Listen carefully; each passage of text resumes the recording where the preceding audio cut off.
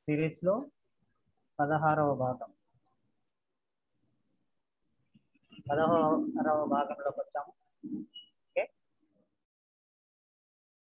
పోయిన భాగంలో పోయిన వారంలో ఏం తెలుసుకున్నాము?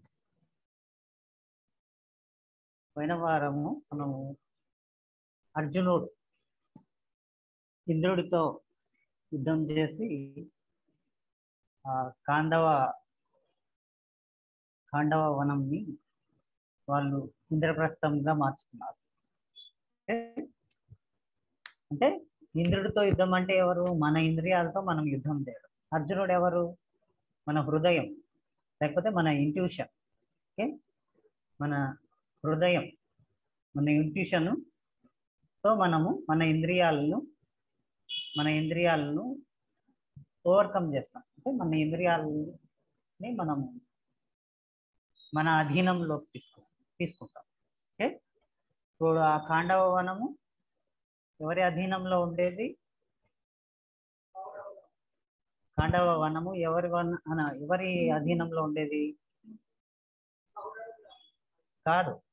కాండవ వనము ఆ సర్పాలు. ఓకే సర్పాలు. దానికి ఆ సర్పాల రాజు ఎవరు? తక్షకుడు ఓకే సర్పాలు అంటే ఆలోచనలు. ఓకే ఆలోచనలు. ఓకే తక్షకుడు అంటే డౌట్. ఓకే అంటే ఈ ఆలోచనలకంతా రాజు ఎవరు ఆడ? డౌట్ సందేహం అనే అనేది రాజ్యం మేలుతుంది ఓకే ఇంద్రియాలలో సత్యం తెలియనప్పుడు సందేహాలే ఉంటాయి కదా? ఆ? అన్నిటికీ సందేహమే ఉంటుంది కదా?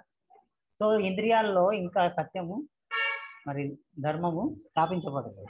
ఇప్పుడు ఈ పాండవులు అంటే ఆ ప్యూర్ ఇంద్రియ శక్తులు దివ్యాంశ గల ఓకే? ఇంద్రియ శక్తులు ఇప్పుడు ఇంద్రియాల్లోకి ప్రవేశాయి.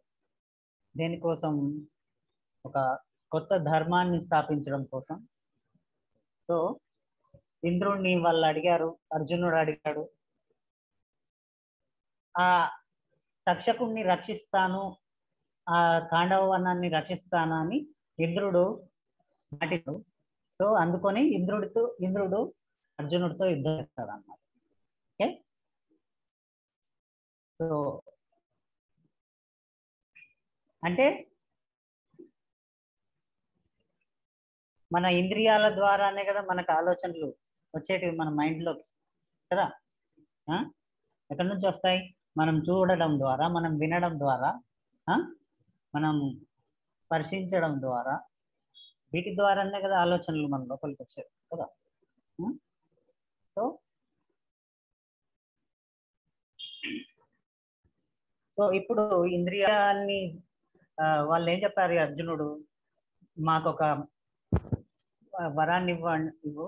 అంటే మాకు ఒక మహానగరాన్ని మీరే నిర్మించి ఇవ్వండి ఆ నగరానికి మీ పేరే పెట్టుకుంటాం. ఇంద్రప్రస్థం అని పెట్టుకుంటాం. ఇప్పటిదాకా అది కాండవ ప్రస్థం ఇప్పుడు ఇంద్రప్రస్థం అయింది అనమాట ఓకే? కాండవ ప్రస్థం అంటే ఇంద్రుడికి ఇష్టమైన ఆ ఆ వనం అనమాట ఇంద్రుడికి ఇష్టమైన ప్లాంట్స్ ఉంటాయి అనమాట దాంట్లో. ఓకే? షుగర్ కేన్ లాంటి ప్లాంట్స్ ఉంటాయి అనమాట ఓకే? చెరుకు అంటే తీయని ఇది అనమాట స్వీట్గా ఉండే అనమాట అంటే ఇంద్రియాలు ఏం కోరుకుంటాయి? మధురానుభూతులు కోరుకుంటుంటాయి కదా. కదా ఇంద్రియాలు ఏం కోరుకుంటాయి? ఎప్పుడు మధురానుభూతులు కోరుకుంటాయి. ఆ కాండవ ప్రస్థం అంటే ఆ ఆ సుఖాలతో మరి ఉన్నది అని అర్థం. దాంట్లో మరి ఈ పాములు నివసిస్తున్నాయి తక్షకుడితో అంటే అన్ని ఆలోచనలు సందే సంద సందేశ సందేహంతో ఉన్న ఆలోచనలు ఉన్నాయి అంటే ఏ దానికి క్లారిటీ లేదు. ఆలోచనల సముదాయం. సో వాటిని అన్నింటినీ మళ్ళీ వీళ్ళు ఆ యుద్ధం చేసి ఆ ఆలోచనలను ఆ ఆలోచనలు కూడా ఉంటాయి. వాళ్ళు ఏం చెప్పారు? మేము సవాసం చేస్తాం. పాముల్ని ఇక్కడ నుంచి తరమేయం. వాటితో సహవాసం చేస్తాం. వాటి అభివృద్ధి కూడా మేము చూసుకుంటాం అని చెప్పారు అంటే ఇప్పుడు ఈ ఆలోచనల లో ఫ్రీక్వెన్సీలో ఉన్న ఆలోచనలను ఇప్పుడు ఈ పాండవుల ద్వారా అంటే ఈ పాండవుల ఏమి దివ్య ఇంద్రియ శక్తులు వీటి గైడెన్స్లో అవి ఉంటే ఎలా ఉంటాయి? ఉన్నతమైన ఆలోచనలు ఉంటాయి అక్కడ. ఆలోచనలు ఉంటాయి కానీ అక్కడ ఎలాంటి ఆలోచనలు ఉంటాయి? ఉన్నతమైన ఆలోచన ఓకే? వాటిని కూడా అభివృద్ధి చేస్తారు.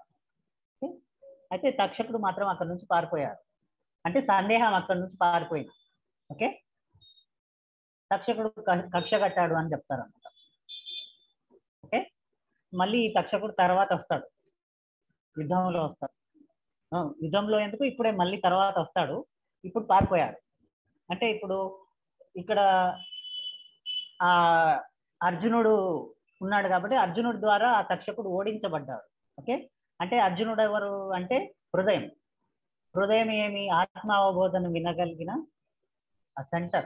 ఓకే? ఆత్మా ఆత్మావబోధన వినగలిగిన టూల్ హృదయం అంటే. సో ఆత్మావబోధన వచ్చినప్పుడు సందేహం అనేది పారిపోతుంది. సందేహం ఉండదు అక్కడ. సందేహం గెలవలేదు. ఆత్మావబోధన ముందర. ఓకే? సో ఆ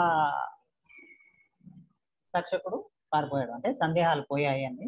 ఇప్పుడు ఉన్నవన్నీ మంచి ఒక ఉన్నతమైన ఆలోచనలో అక్కడికి వచ్చాయి ఇప్పుడు వీళ్ళంతా దాన్ని కాండవ ప్రస్థాన్ని ఇంద్రప్రస్థంగా సో వాళ్ళు చూస్తూ ఉండగానే అక్కడ మరి ఆ ఇంద్రుడు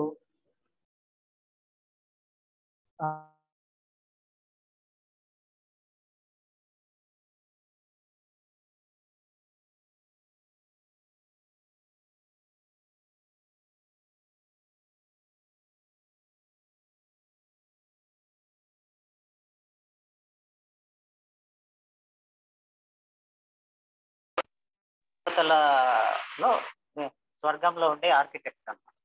అంటే ఆర్కిటెక్ట్ అంటే ఒక బిల్డింగ్ కట్టాలనుకో ఆ బిల్డింగ్ని ఎలా డెకరేట్ చేయాలి ఎట్లా డిజైన్ చేయాలి అని చేసే వాళ్ళు అనమాట ఎంత సుందరంగా ఎట్లా తయారు చేయాలి అని. అంటే ఆ దేవశిల్పి ఎవరు? విశ్వకర్మ. విశ్వకర్మని విశ్వకర్మ ఎవరి అధ్యయనంలో ఉంటాడు? ఇంద్రుడి అధ్యయనంలో ఉంటాడు. సో ఇంద్రుడు విశ్వకర్మని ఆదేశిస్తాడు అన్నమాట ఏమని? ఆ నగరాన్ని నిర్మించమని. ఇంద్రప్రస్థ పాండవుల కోసం. సో అది మరి ఇంద్రప్రస్థము విశ్వకర్మ చేత నిర్మించబడుతుంది. ఓకే? సో అయితే అక్కడ కాండవ ప్రస్థంలో ఇంకెవరు ఉన్నారు అక్కడ? మయాసురుడు ఉన్నాడు. మయాసురుడు కూడా ఈయన తక్షకుడు ఆధీనంలో ఉండేవాడు. సో ఇప్పుడు మయా తక్షకుడిని వాళ్ళ యుద్ధంలో ఓడించి పంపించేశారు కాబట్టి ఇంకా ఈయనను కూడా ఇప్పుడు కృష్ణుడు సంవరించడానికి పోతే. మయాసురుడు అంటే మాయ. ఇంద్రియాలలో అప్పటిదాకా మాయ అలుపుకొని ఉంది. మాయ వాళ్ళని అప్పటి అప్పటిదాకా వాళ్ళని రక్షిస్తూ ఉంది అన్నమాట. ఓకే? సో ఆ మాయని కృష్ణుడు కృష్ణుడు వచ్చాడు కదా? ఆ? వజ్రాయుధం అంటే సంకల్పం. ఇంద్రుడు వజ్రాయుధం వదిలినప్పుడు ఈయన ఒక అర్జునుడు ఒక దివ్యాస్త్రాన్ని వదులుతాడు. ఆ రెండు ఢీకుంటే ఏమవుతుందో అని అందరు చూస్తున్నప్పుడు కృష్ణుడు వచ్చి చక్రం వేస్తాడు కృష్ణుడి చక్రం అంటే అక్కడ అది జ్ఞానోదయం. ఓకే? గట్టి సంకల్పం అక్కడ ఉంటుంది ఇంద్రియాల యొక్క సంకల్పం స్ట్రాంగ్ వజ్రాయుధం అంటే సంకల్ప శక్తి. ఓకే? ఆ సంకల్ప శక్తిని ఈ ఇంట్యూషన్ అస్త్రాలు అంటే ఏం లేదు ఈయన ఆలోచన ఆయన ఆలోచన ఓకే ఏదైతే ఆ ఆలోచన గొప్పదా ఈ ఆలోచన గొప్పదా ఏ ఆలోచన శక్తి ఎక్కువ ఉందో అవి రెండు ఢీకొంటాయి అస్త్రాలు అంటే అక్కడ బాణాలన్నా అస్త్రాలన్నా మన ఆలోచనలే. ఓకే అర్జునుడి బాణము స్ట్రాంగ్గా ఉంటుంది. ఇంట్యూషన్ అంటే ఒకటే రకరకాల ఆప్షన్స్ ఉండకుండా ఒకటే ఉంటుంది. క్లియర్గా ఉంటుంది. క్లారిటీ ఉంటుంది. ఎందుకంటే అర్జునుడు అంటే అర్థం స్వచ్ఛత అని అర్థం. స్వచ్ఛమైన మనసులో ఇంకా రకరకాల ఆప్షన్స్ ఉండవు. ఇదా అదా అదా ఇదా ఇదా అని ఉంటుంది ఒకటే వస్తుంది. అది నిలబడిపోతుంది. అది ఆత్మ ద్వారా తనకు అందిన సందేశం. ఆత్మావబోధ ద్వారా. సో అందుకని అర్జునుడి యొక్క ఆలోచనలకు శక్తి ఎక్కువ ఉంటుంది. అర్జునుడి బాణాలకు శక్తి ఎక్కువ ఉంటుంది. ఓకే? సో గురి ఎక్కువ ఉంటుందా అర్జునుడి బాణాలకు. ఓకే? గురి ఎందుకు ఎక్కువ ఉంటుందంటే మిగతా ఏం ఆలోచనలు ఉండవు. ఆయనకు కనపడేది తన లక్ష్యమే కనపడింది ఎప్పుడు. అదే ఇది మూడు ఆప్షన్లు కనపడవు. ఒకటే ఆయన చూస్తే ఒకటే కనిపిస్తుంది. తన లక్ష్యం ఏదో అదే కనిపిస్తుంది. మిగతా అంతా ఉండవు. దాన్నే ఇంట్యూషన్ అంటారు అన్నమాట. ఓకే? మనం అదే ఇదా అట్లా పోవాలా ఇట్లా పోవాలా అది కావాలా ఇది కావాలా ఇది తీసుకోవాలా అది తీసుకోవాలా అని ఇన్ని ఉండవు అనమాట ఓకే డైరెక్ట్ నీదే నీకు ఏమి కావాలో అది నీ పూర్ణాత్మ ద్వారా అందే సందేశమే ఇంట్యూషన్ ఆ ఇంట్యూషన్ అనేది హృదయానికి అందుకుంది. ఎవరి హృదయం అయితే స్వచ్ఛంగా ఉంటుందో అర్జునుడు ఆ హృదయ స్వచ్ఛతకి ప్రతీక. హృదయం స్వచ్ఛంగా ఉన్నప్పుడు ఆత్మావబోధన మనం వినగలుగుతాం. ఇంకా దాంట్లో ఆప్షన్స్ ఉండవు. ఇంకా నీ లక్ష్యం ఏదో అదే నీ ఆ పూర్ణాత్మ నీకు ఇస్తుంటుంది. నీకు ఏది కావాలో అదే ఇస్తుంటుంది. ఇంకా రెండో ఆప్షన్ అవసరం లేదు. సో ఆ ఇప్పుడు ఆ రెండింటి మధ్యలో సంకల్ప ఇంద్రియాల శక్తి ఇంద్రియాల యొక్క శక్తికి మళ్ళీ ఇంట్యూషన్కి ఫైట్ జరిగినప్పుడు అది ఏది గెలుస్తుంది అనుకున్నప్పుడు కృష్ణుడి సుదర్శన చక్రం అంటే ఆ జ్ఞానోదయం అవుతుంది అనమాట ఓకే? మీరు ఫైట్ చేసుకోవాల్సిన అవసరం లేదు. ఇంద్రుడు ఎవరు అర్జునుడు ఎవరు ఇంద్రుడి యొక్క అంశమే కదా ఓకే? అంతా ఒకటే కదా? కాబట్టి ఆ జ్ఞానోదయం అయిపోతుంది. సో ఇద్దరు ఫైట్ చేయాల్సిన అవసరం లేదు. ఓకే అన్న జ్ఞానోదయం వస్తుంది. సో అక్కడ కృష్ణుడు ఆపడం సుదర్శన చక్రంతో అంటే ఆ సుదర్శన చక్రం జ్ఞానోదయం గుర్తు. సుదర్శన చక్రం. అంటే ఆ చక్రానికి సుదర్శన చక్రానికి నూట ఎనిమిది పళ్ళు. చక్రానికి ఇట్లా కొత్తగా ఉంటాయి కదా పళ్ళు? ఆ? పళ్ళు నూట ఎనిమిది ఉంటాయి అన్నమాట అంటే మన ఈ శరీరంలో కూడా నూట ఎనిమిది చక్రాలు ఉంటాయి. చక్రాలు అంటే ఎనర్జీ సెంటర్స్. ఓకే?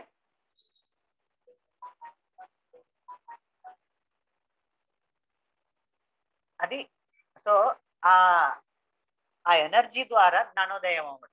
ధ్యానం చేస్తే మన లోపల ఆల్రెడీ ఉన్న ఎనర్జీ ట్రిగర్ అయ్యి బయటకు వస్తుంది ఓకే? సుదర్శన చక్రము ఆయన వదిలిండు అంటే ఏంటి?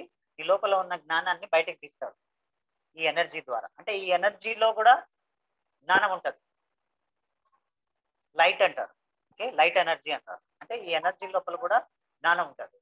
కృష్ణుడి చేతిలో ఎవరు చనిపోయినా వాళ్ళంతా వాళ్ళంతా జ్ఞానోదయం పొందుతారు అని చెప్తారు. అంటే కృష్ణుడు ఎప్పుడు ఎవరిని చంపి దేంతో చంపుతాడు? సుదర్శన శక్తితో. అంటే వాళ్ళకు చనిపోయే ముందు జ్ఞానోదయం చేపించి చంపేస్తారు.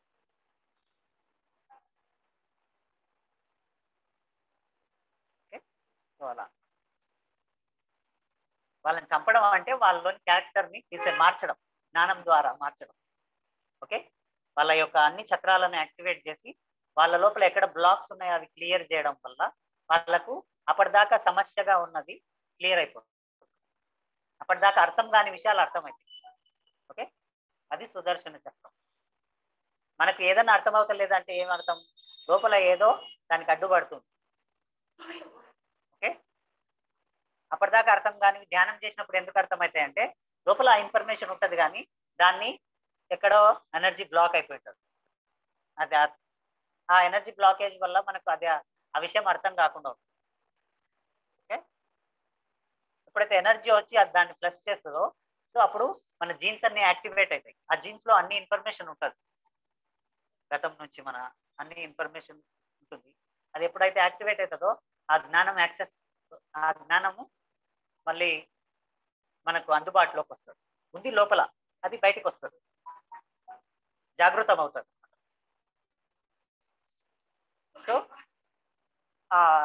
అలా సుదర్శన చక్రంతో ఆపాడంటే అది అర్థం. ఓకే? సో దాని తర్వాత మయాసురుణ్ణి కృష్ణుడు చంపబోతుంటే అర్జునుడు ఆపుతాడు. క్షమించి వదిలేయమని చెప్తాడు. సరే క్షమించి అర్జునుడు అడుగుతున్నాడు కాబట్టి క్షమిస్తాను. కానీ మా- మాట ఇవ్వాలి నువ్వు మాకు ఎప్పుడు అవసరం అయితే పాండవులకి ఎప్పుడు అవసరం అయితే అప్పుడు నువ్వు వాళ్ళకు ఉపకారం చేయాలి అని చెప్తాడు సో ఓకే అని ఒప్పుకుంటాడు. సో అలా మా మయాసురుని వదిలేస్తాడు. ఆ మయాసురుడే మాయసభ మయసభని నిర్మిస్తాడు తర్వాత. సో మయసభలోనే మనకు అసలు రాద్ధాంతం జరిగేది. ఓకే? అసలు మహాభారత యుద్ధానికి అక్కడ బీజాలు పడతాయి ఆ, అంటే మొదటి నుంచి ఉన్నాయి. అక్కడ రగులుకుంటుంది చిచ్చు. సో నెక్స్ట్ ఇప్పుడు ఏమైంది? ఆ నగరం ఇంద్రప్రస్థం నిర్మితమైంది. ఓకే? సో ఇంద్రప్రస్థానికి ఇప్పుడు రాజు ధర్మరాజు అయ్యాడు. సో ఇక్కడ స్టార్ట్ చేశారు రాజు. సో నగర పూజ జరగాలి కదా? నగర పూజ ఇంకా ఇంద్రప్రస్థం నిర్మించబడింది. సో అయితే ఈ అక్కడ అప్పుడు ఒక ఆమె చెప్పాం కదా? వృషాలి అని. ఆమె నదిలో పడిపోయింది అని చెప్పాం కదా. పాములు అంతా అటాక్ చేసినప్పుడు ఆమె నదిలో పడిపోయింది అని చెప్పాం. ఆ? వృషాలి. అంటే హస్తినాపురం నుంచి వృషాలి వృషభాను అనే ఇద్దరు వచ్చారు. తల్లి తండ్రి కూతురు వచ్చారు. ఆమె వృషాలిని తన చెల్లికత్తగా తీసుకునింది ద్రౌపది. సో అయితే ఈ అటాక్లో ఆమె తనను తను రక్షించుకోవడానికి పారిపోతూ ఆమె నదిలో పడిపోతుంది. ఆ నదిలోంచి మళ్ళీ అదే నది పారుతూ అక్కడ హస్తినాపురంకి వెళ్ళింది హస్తినాపురంలో అక్కడ అతిరథుడు అంటే భీష్ముడి యొక్క రథసారథికి ఆమె దొరుకుతుంది అక్కడ. మళ్ళీ ఆమె ఆమెను రక్షించి అయితే మా ఏమైంది అని నదిలో ఎలా పడ్డావు అని అని వాళ్ళు విచారిస్తే అక్కడ మమ్మల్ని పాములు అటాక్ చేశాయి. ఆ యుద్ధంలో అందరినీ అవి పాములు కాటేసి చంపేశాయి. అందులో నన్ను అటాక్ చేసి మా నాన్నను కూడా చంపేశాయి నన్ను రక్షించుకోవడానికి నేను పారిపోతూ ఇలా నీళ్ళల్లో పడి ఇక్కడికి వచ్చాను అని చెప్తారు అని బాధపడుతూ ఉంటే అక్కడ ఉన్న వాళ్ళు చెప్తారు. ఆ యుద్ధంలో పాండవులు గెలిచారు. మళ్ళీ ఆ పాండవులనంతా ఆ పాండవులు ఆ పాములనంతా వెలిపించి వాళ్ళందరినీ మళ్ళీ బతికించారు. అంటే ఏ పాము ఎవరిని కొరికిందో వాళ్ళతో ఓకే? మళ్ళీ బ్రతికించారు. సో ఇప్పుడు అందరూ మీ తండ్రి కూడా బతికే ఉంటాడు అని చెప్పి అప్పుడు ఈమె ఇక్కడ హస్తినాపురికి కొంచెం తండ్రి ఎక్కడ ఉంటే అక్కడికి వెళ్ళాలి కదా. సో అక్కడికి వెళ్ళాలి అని రెడీ అవుతున్నారు. సో ఇప్పుడు పాండవులు మంచి నగరాన్ని నిరు నిర్మించుకున్నారు. ఆ, రా- ఇంకా అక్కడ మంచి రాజ్యం నిర్ ఉంది. రాజ్యం ప్రారంభం అవుతుంది నగర పూజ జరుగుతుంది అని. ఆ, హస్తినాపురంలోంచి చాలా మంది ఇంకా వెళ్ళిపోతుంటారు వలస. అక్కడ నుంచి ఓకే? అందులో ఈ ఈమె కూడా ఒకటి. ఎవరు? వృషాల్ ఓకే? వెళ్ళిపో వెళ్ళిపోవాలని ఉంటుంది. అయితే ఈ ఈలోపు నగర పూజకి లక్ష గోవుల్ని పంపిస్తానని ధృతరాష్ట్రుడు అప్పుడు రాజ్య విభజన సమయంలో చెప్పింటాడు. ఆ లక్ష గోవుల్ని పంపించాలి అని ఆ ఎవరు? విదురుడు చెప్తాడు. వాళ్ళు నిర్మించుకున్నారు నగర పూజ చేస్తున్నారు. మనం లక్ష గోవుల్ని పంపించాల్సింది మహారాజా అంటే నేనేం మర్చిపోలేను పంపిస్తానని పంపిస్తాడు. సో ఆ నగర పూజ జరగకూడదని ఇప్పుడు ఇంకా వీళ్ళకి అంత నగరం అసలు అక్కడ వీళ్ళు అక్కడ ఏం లేదు. మానవులే నివసించడానికి ఆవా- ఆవాసయోగ్యం కాని విషయం ఉన్న ప్లేసు వీళ్ళు ఏం చేసుకుంటారులే అని ఆనందపడిపోయినారు దుర్యోధనులు కౌరవులు మళ్ళీ శకులు కానీ వీళ్ళు ఒక అక్కడ ఆ గొప్ప నగరమే నిర్మించబడింది సో ఇప్పుడు అసూయ ఆ నగర పూజ జరగకూడదు. సో అప్పుడు శకుని ఏం చేస్తాడు?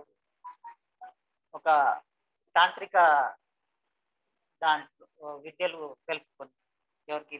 శకునికి. దాంట్లో ఒక తాంత్రిక విద్యను ప్రయోగించి ఆ ఎవరిని మన తక్షకుణ్ణి పిలుస్తాడు. ఆవాహనం చేస్తాడు. తక్షకుణ్ణి పిలుస్తాడు. తక్షకుణ్ణి పిలిచి ఆ గోవుల్ని ఆ లక్ష గోవుల్ని బంధించి తీసుకురామని చెప్తాడు. అనగా ఆ గోవులు లేకపోతే నగర పూజ ఆగిపోతుంది కదా. అలా పంపిస్తాడు. తక్షకుని యాక్టివేట్ చేసి పంపిస్తాడు. సో ఇక్కడ అందరూ జనాలంతా ఒక పక్క వెళ్ళిపోతున్నారు అందరు. ఇక్కడ ఉంటే ఏముంటుంది మనకి? ధర్మరాజు రాజ్యంలో మనం వెళ్తాం. యుధిష్ఠిరుడి రాజ్యంలోకి వెళ్తామని వాళ్ళు వెళ్తున్నారు అందరు. ఇప్పుడు ఈ వార్త కూడా తీసుకొచ్చారు. ఏంటి? ప్రజలందరూ వెళ్ళిపోతున్నారు. అందరు వెళ్ళిపోతే మనం ఉత్తరాజ్యం ఏం చేసుకుంటాం? అందరూ ప్రజలంతా వెళ్తే ప్రజలే రా రాజ్యానికి సంపద కదా. ఉత్త గోడలు ఉత్త ఇండ్లు పెట్టుకుని ఏం చేస్తారు కదా? ఆ? సో ప్రజలందరూ అక్కడికి వెళ్తున్నారంటే అప్పుడు వాళ్ళని ఆర్డర్ వేస్తారు ఎవరు వెళ్ళడానికి వెళ్ళలేదు నగర పూజకి ఎవరు వెళ్ళడానికి వీల్- వీల్లేదు. ఇక్కడ నుంచి హస్తినాపురం అని ఆర్డర్ వేస్తారు. సో ఆర్డర్ వేస్తారు ఇంకోటి అంటే అందరు వెళ్తూ ఉంటే ఇప్పుడు ఆపాలి అని కర్ణుడిని ఆదేశిస్తారు ఇప్పుడు అందరు వెళ్తున్నారు. ఎవరు ఆపాలి అంటే కర్ణుడిని ఆదేశిస్తారు సో కర్ణుడు వెళ్ళి ఆ డ్యూటీ తీసుకొని వీళ్ళకి వీళ్ళకి ఇష్టం లేదు కానీ ఎవరికి వాళ్ళ ఇష్టం వెళ్ళాలనుకున్న వాళ్ళు వెళ్ళొచ్చు అని ఎవరు భీష్ముడు వీళ్ళంతా. కానీ అలా వెళ్ళనివ్వకూడదు. మన సంపద అంతా తరిగిపోతుంది. వీళ్ళకి సో ఆర్డర్ వేస్తారు. అందులో వృషాలు వెళ్తూ ఉంటే మళ్ళీ అప్పటికే ఆపేస్తారు. కర్ణుడికి వృషాలు తెలుసు. నీకు నీలోన మానవత్వం వెళ్ళిపోయిందా? ఇలాంటి పని చేస్తున్నావు అని ఆ వృషాలి కర్ణుడిని ప్రశ్నిస్తారు.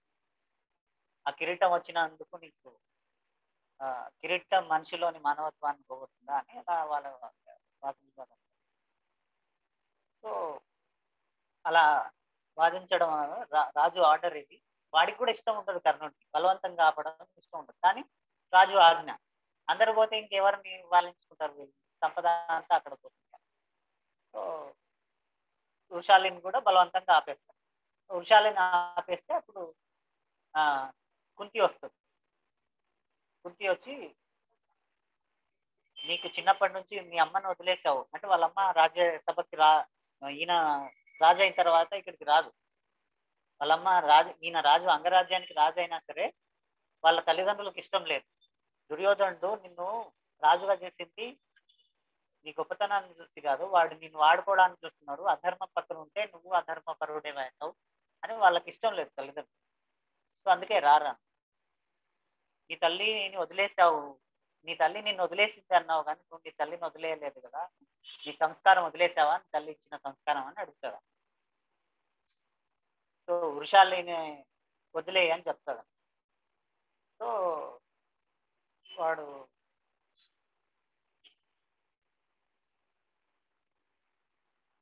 దుశాసనుడు ఆప్ ఆప్తే కూడా కర్ణుడు అమ్మ చెప్తుంది. అంటే ఎప్పుడు కర్ణుడికి వాళ్ళ అమ్మ ఈ కుంతి అంటే కూడా చూ కుంతిని చూసినప్పుడల్లా ఒక ఫీలింగ్ వస్తుంటుంది తల్లిని చూసినట్టు ఫీల్ అవుతుంది ఆయనకు ఒక స్పెషల్ రెస్పెక్ట్ ఉంటుంది.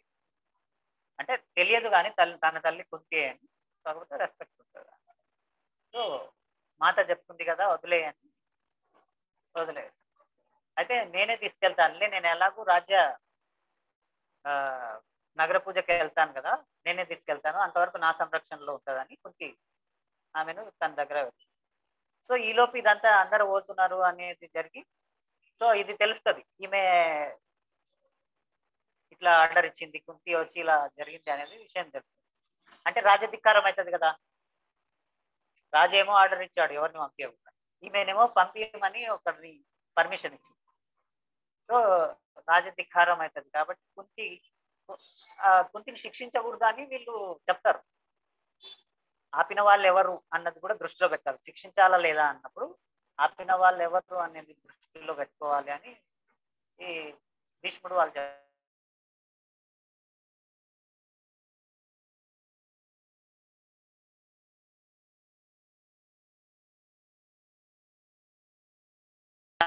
కుటుంబంలో కూడా ఎవరు నగర పూజకి వెళ్ళరు. అంటే ఇక్కడ నుంచి ఎవరు వెళ్ళకూడదు. ప్రజలే కాదు. రాజకుటుంబంలోంచి కూడా నగర పూజకి ఎవరు అంటే ఎవరు పూర్తి కూడా వెళ్ళకూడదు. రాజ కుటుంబంలో ఆయన కూడా ఆయన ఏం పెట్టుకునేటాడు అంటే నా మన నా మరదలు నా సంరక్షణలో ఉంటది. మీరందరూ స్వతంత్రులు అయ్యేంత వరకు అని అప్పుడు వాళ్ళ తల్లిని పోనించలేకుంటాడు సో ఇప్పుడు రాజకుటుంబంలో ఈమె భాగం కదా. ఈమె కూడా పోనీయకుండా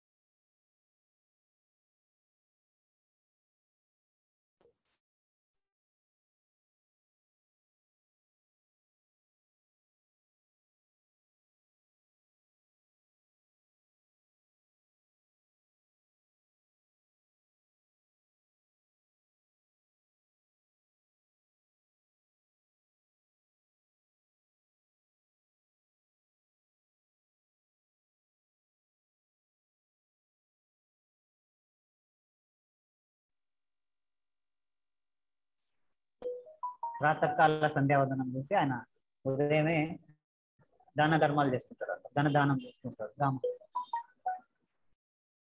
అయితే ఈసారి ఇప్పుడు ఈ జరగక ముందు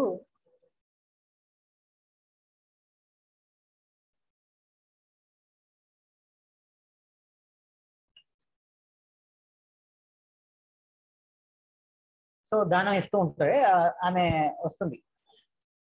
ఎవరు ఈమె వచ్చి చెప్తుంది. ఇలా నేను వెళ్ళట్లేదు.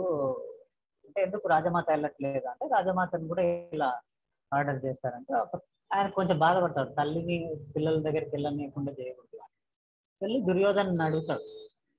ఎందుకు ఇలా చేసావు అంటే వాళ్ళ మధ్యలో కొంచెం మాటలు మాటలు వెళ్ళి నువ్వు ఎవరి పక్షాన ఉన్నావు? నువ్వు సుతపుత్రుడా? అని కొంచెం పెడతాడు సో నువ్వు సుతపుత్రుడా అన్నా నేను సుతపుత్రుడినే నాకేం నా నేను సుతపుత్రుడినే నాకేమి అవమానం కాదు.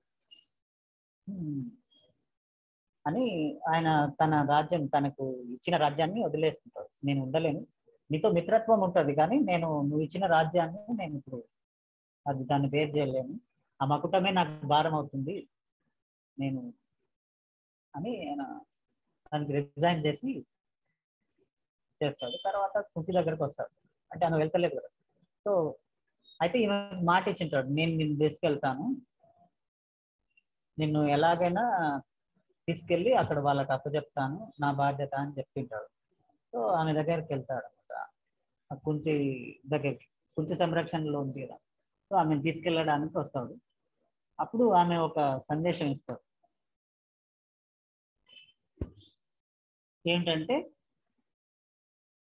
మీరు స్వతంత్రులు తొందరగా మీరు స్వతంత్రులయ్యి అయినప్పుడే నేను మీరు తొందరగా స్వతంత్రులు అయితే స్వతంత్రులై రాజస్వే యాగం చేయండి. అప్పుడు నేను మీరు స్వతంత్రులు అయినప్పుడు నేను మీ దగ్గరికి వస్తాను అంతవరకు రాను అని చెప్తున్నాను ఈ వెంటనే మీరు నగర పూజ అయిపోగానే రాజస్వ యాగం చేయండి త్వరలో. రాజసూయ యాగం చేసి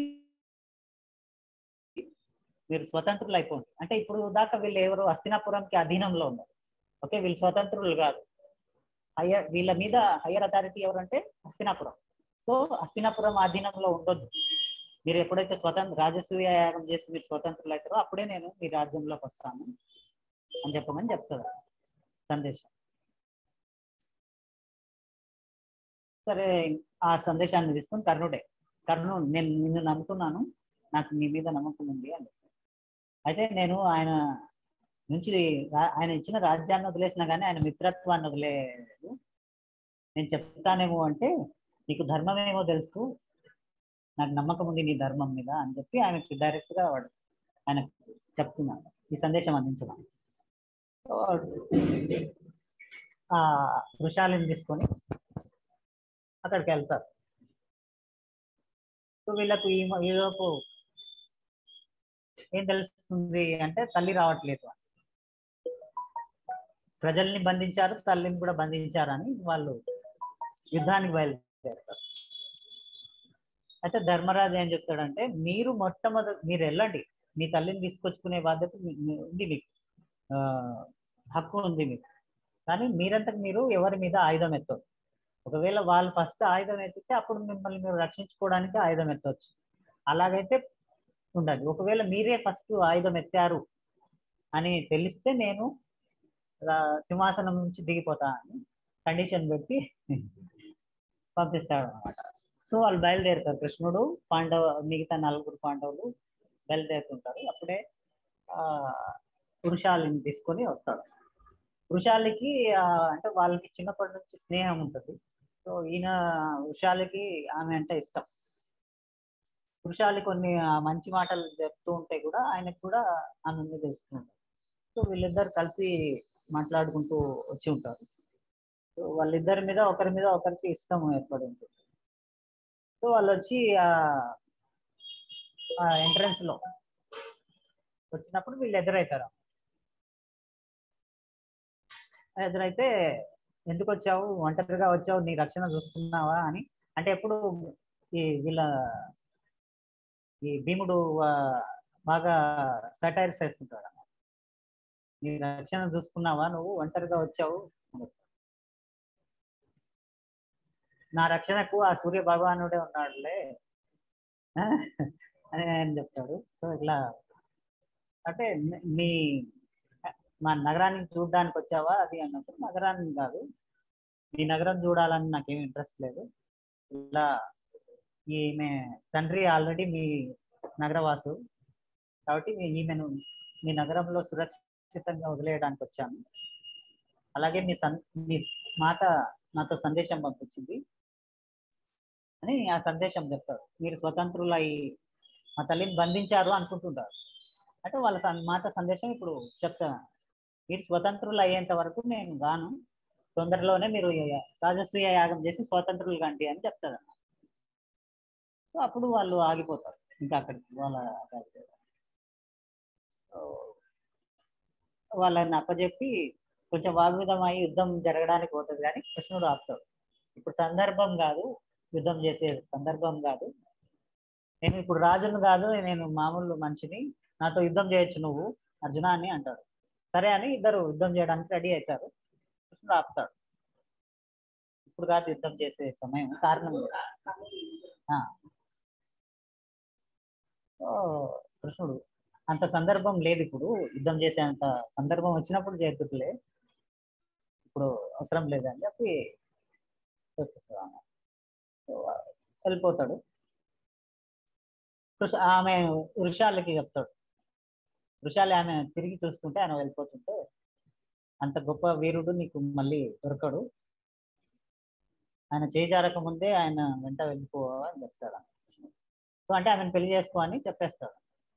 సో వీళ్ళంతా పంపిస్తాడు అప్పుడు అర్జునుడు అంటాడు వృషాలి అదృష్టవంతురాలు. ఆయన గొప్ప యోధుడు పక్కన ఉన్నంత వరకు ఆమె రక్షణకి ఏమీ లోటు ఉండదు అని చెప్తాడు అంటాడు అన్నమాట అర్జునుడు. కృష్ణుడు ఏమంటాడు వృషాలి వల్ల ఆమెకి రక్షణ కాదు. ఆమె పక్కన ఉన్నంత వరకు ఆ కర్ణుడికి రక్షణ ఉంటది. అంటే కర్ణ వృషాలి అంటే సుగుణాలు అని అర్థం. సుగుణాలు. ఆ సుగుణాలు ఉన్నంత వరకు ఆయనకు రక్షణ ఉంటుంది. ఓకే? ఆయన క్యారెక్టర్స్ అంటే ఆ ఆ కర్ణుల్లో కూడా కొన్ని సుగుణాలు ఉన్నాయి. కొన్ని ఉన్నాయి. కానీ ధర్మం యొక్క క్లారిటీ లేదు. కన్ఫ్యూజన్లో ఉన్నాడు. ధర్మం యొక్క అవగాహన లేదు. ఆత్మ జ్ఞానం సరిగా లేకపోవడం వల్ల ధర్మం యొక్క అవగాహన లేకపోవడం వల్ల ఆయన అహంకారానికి తోడు అహంకారం ఆయనకు అహంకారానికి సహకారం ఇచ్చాడు. అహంకారం యొక్క ఫ్రెండ్షిప్ చేశాడు. సో అలా వాళ్ళకి కర్ణుడికి ఆమెకు పెళ్ళి జరిగింది. కర్ణుడు వృషాలిని పెళ్ళి చేసుకుంటాడు. వృషాలి. సో సో అలా అయింది. ఇప్పుడు అక్కడ నుంచి ఇక్కడ దాకా అర్థమైంది కదా?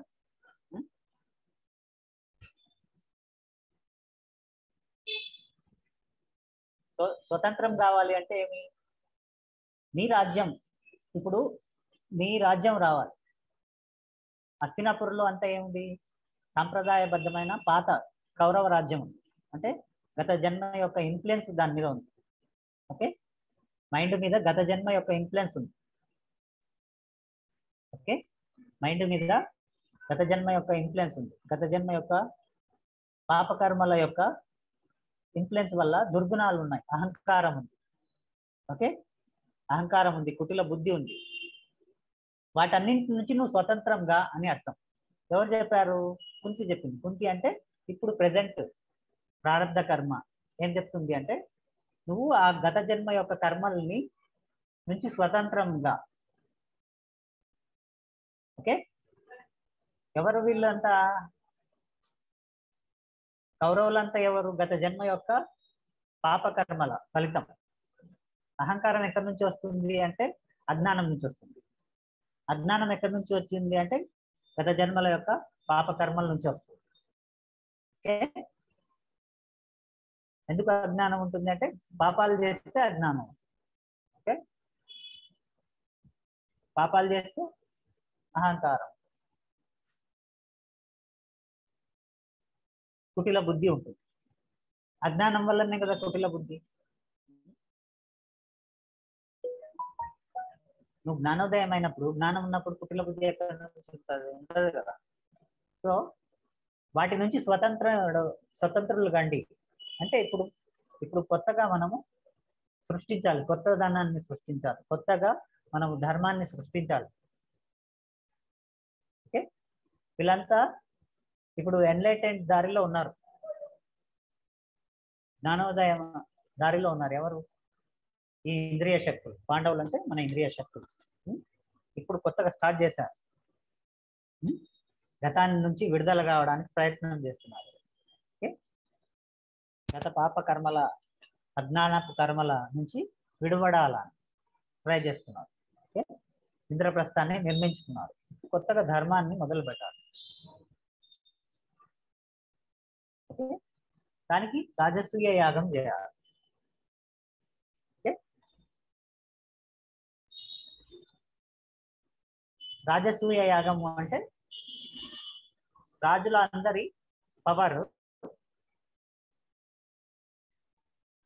ఏకకృతం చేయడం. ఓకే? అంటే అన్ని శక్తులను కూడగట్టుకొని అన్ని శక్తులను ఏకీకృతం చేసి ధర్మాన్ని స్థాపించాలి. ఒక ఒక ఒకవైపు ధర్మం వైపు నడిపించాలి. అంటే ఒక్కొక్కళ్ళు ఒక మగధలో జరాసంద్రుడు ఉన్నారు. అంటే చదష్టపు ఆలోచన అంటే ఒక్కొక్క పార్ట్లో ఒక్కొక్క ఒక్కొక్క ఫీల్డ్లో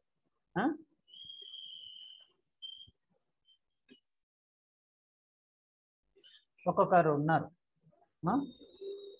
శిశుపాలుడు ఉన్నాడు. చేది రాజ్యంలో. చేది రాజ్యం అంటే చేది అంటే ఛేదించడం. అంటే అంద అన్నింటిని విమర్శిస్తూ ఉంటాడు. ఓకే?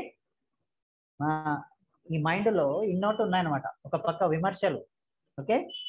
ఒక పక్క చాదష్ట భావాలు జరాసంధుడు అంటే చాదష్ట భావాలు ఒక పక్క విమర్శన విమర్శనాత్మకమైన భావాలు శిశుపాలుడు అంటే ఇలా రకరకాల వాళ్ళు ఉన్నారు. రకరకాల ఆలోచన సముదాయం ఉంది. వాటన్నింటినీ ఏకీకృతం చేసి అన్నింటినీ ధర్మం వైపు నడపాలి. ఈ ఇంద్రియ ఈ ఇంద్రియాలంతా. దానికి లీడర్గా యుధిష్ఠిరుడు ఉండాలి. అది రాజ రాజసూయ యాగం. అంటే అన్ని శక్తులను అన్ని ఆలోచనల యొక్క శక్తుల్ని ఏకకృతం చేసి అన్ని ఆలోచనలను ధర్మం వైపు నడపడం. అది రాజసూయ యాగం. చేయడం అంటే.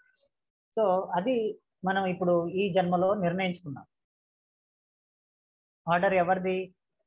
కుంతిదేవి కుంతి అంటే ప్రారంధ కర్మ. ఈ ప్రారంధ కర్మ నిర్ణయించుకునేది. ఏంటి? ఇప్పుడు ధర్మం వైపు నడవాలి. పాత యొక్క భావాల నుంచి విడుబడాలి. స్వతంత్రం కావాలి. పాత యొక్క కుతంత్రాల నుంచి కుళ్ళు బుద్ధి నుంచి. మన లోపల ఉండే కుళ్ళు బుద్ధి. ఎవరో కుళ్ళు బుద్ధి కాదు. మన లోపల ఉన్న కుళ్ళు బుద్ధి. అంటే మన లోపల ఉన్న కుటీల బుద్ధి. దుర్యోధనుడు అంటే మన లోపల ఉన్న అహంకారం. కర్ణుడు అంటే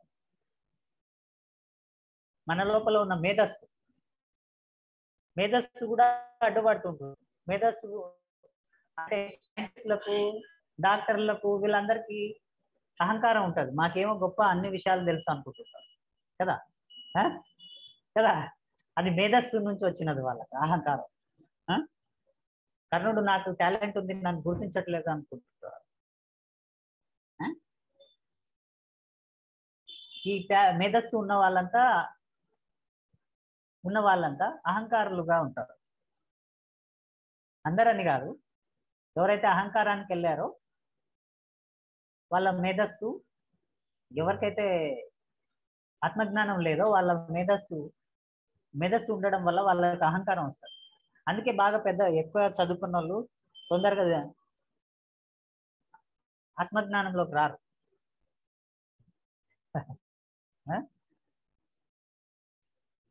వస్తారు. అంటే ఎవరు వస్తారు? మళ్ళీ ఐన్స్టీన్ ఉన్నాడు. గొప్ప సైంటిస్ట్. కానీ ఆయన ఆత్మజ్ఞానంలోకి వచ్చాడు. అంటే ఆయన ఆత్మజ్ఞానం అని చెప్పాడు. ఏంటి?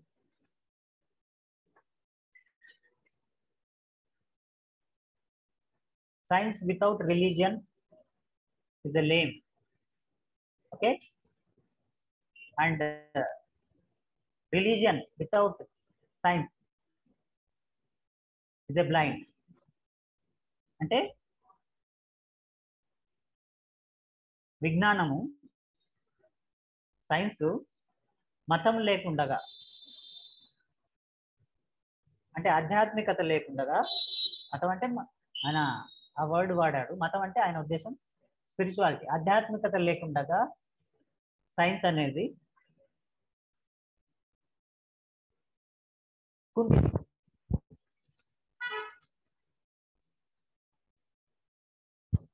మతము ఆధ్యాత్మికత సైన్స్ లేకుండా గుడ్డిది. అంటే గుడ్డిగా కూడా మనం మతం మతంలో సైన్స్ లేకపోవడం వల్లే అది గుడ్డిదైంది. అర్థమైందా? అందరూ చాదస్తులు అయిపోయారు నా మతం గొప్ప నా మతం గొప్ప అని. కదా? ఎందుకంటే దాంట్లో సైన్స్ లేకపోవడం.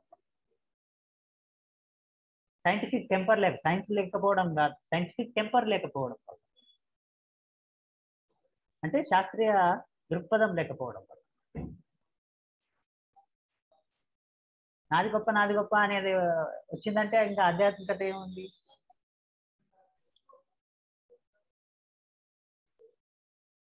ఆధ్యాత్మికత అంటేనే అంతా ఒకటే అని చెప్పడం. ఆధ్యాత్మికత అంటేనే నిరహంకారం కదా? నాది గొప్ప అన్నప్పుడు ఏమి నీకు అహంకారం? నాది గొప్ప అని అన్నప్పుడు నీకు అహంకారం అక్కడ చూపిస్తుంది. సో అంటే నీకు ఆ శాస్త్రీయ దుఃఖ అసలు దాని మెయిన్ ఆధ్యాత్మికలోని మెయిన్ ఎసెన్సే నువ్వు పోగొట్టుకున్నావు. సో అదనమాట. సో వాళ్ళకి ఆధ్యాత్మికత అనేది అర్థమే అయింది మతాలకు. అయితే ఐన్స్టీన్ అన్న మతము మతం కాదు. ఆయన ఆధ్యాత్మికతని ఆ పదంతో యూజ్ చేశాడు. సో అలాంటి వాళ్ళు అంటే ఆయనకు చిన్నప్పటి నుంచి ఆయన మేధావి కాదు. మేధావి కాదు. ఎందుకు ఐన్స్టీన్ అలా అంత గొప్ప సైంటిస్ట్ అయినా కానీ ఐన్స్టీన్ ఎందుకు ఆధ్యాత్మికతని అక్సెప్ట్ ప్రధాన. అర్థం చేసుకోగలిగాడు అంటే ఆయన చిన్నప్పటి నుంచి అంత మేధావి కాదు. ఆయన స్కూల్ నుంచి గెంటేశారు. మనకి చదువు రాదని గెంటేశాడు. అంటే ఆ కష్టాలన్నీ కష్టాలను ఎన్నో అనుభవించాడు. ఎన్నో ఫెయిల్యూర్స్ అనుభవించాడు. ఫెయిల్యూర్స్ అనుభవించిన వాళ్ళకే తెలుస్తుంది అసలు. మొదటి నుంచి సక్సెస్ఫుల్గా ఉన్న వాళ్ళకు అహంకారం పెరుగుతుంది. సత్యం అర్థం చేసుకోలే. ఎందుకు ఆధ్యాత్మికంగా ఉన్న వాళ్ళందరూ కష్టాలు పెట్టుకుంటారంటే మొదటి నుంచి మనం సక్సెస్ చూస్తే మనం కూడా అహంకారమే అవుతాం. కష్టాలని రుచి చూస్తే మనం సక్సెస్ని చూసినప్పుడు మనకు కష్టం తెలుసు సక్సెస్ తెలుసు కాబట్టి ఫెయిల్యూర్ తెలుసు సక్సెస్ తెలుసు కాబట్టి అప్పుడు మనకు సరైన అవగాహన వస్తుంది. మొదటి నుంచే మనం సక్సెస్ఫుల్గా ఉన్నాం అనుకో అహంకారంలో అవుతాం అందరూ అలా అవుతారని కాదు. జనరల్గా. Hmm?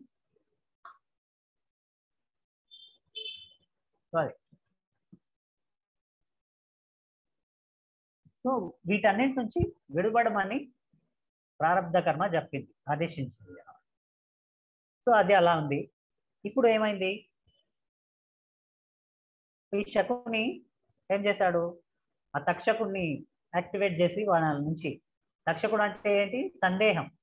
అంటే డౌట్ ఓకే?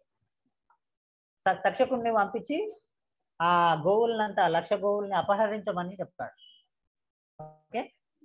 సో తక్షకుడు వెళ్ళి ఆ గోవులు వస్తూ ఉంటే ఇంద్రప్రస్థానికి వాటిని అంతా అపహరించేశాడు.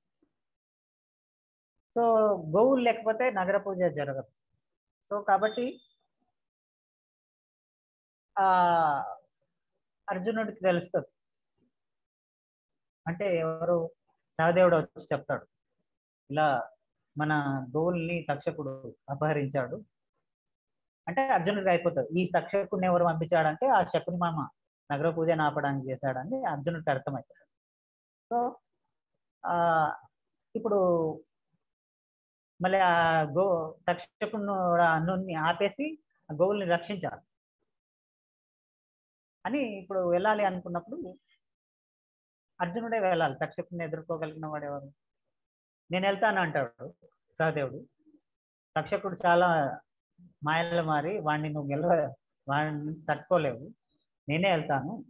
అంటే నువ్వు వెళ్తే నీ గాంధీవం ఇప్పుడు అప్పుడు అర్జునుడి గాంధీవం ద్రౌపది గదిలో ఉంది. ద్రౌపది గదిలో ఇప్పుడు ఎవరున్నారు? ధర్మరాజు ఓకే? ద్రౌపది గదిలో ఇప్పుడు ధర్మరాజు ఉన్నాడు. అర్జునుడు గాంధీవము ద్రౌపది గదిలో ఉంది. సో అర్జునుడు వెళ్ళాలి వాడితో ఫైట్ చేయాలంటే గాంధీవం తీసుకొని వెళ్ళాలి. మీకు ఇంకో పాయింట్ చెప్పడం మర్చిపోయాను. ఆ యుద్ధం జరిగింది కదా కాండ మనం దగ్గర యుద్ధం జరిగింది కదా.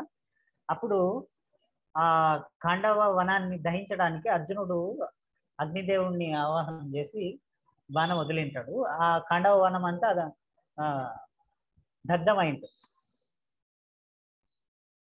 సో ఆ అగ్నిదేవుడు అంతా వనాన్ని దగ్ధం చేసి ఉంటాడు ఆ అగ్నిదేవుడు అగ్నిదేవుడి వల్లనే అదంతా దగ్ధం చేయడం వల్లనే అందులో ఉన్న పాములంతా బయటకు వచ్చేసింది.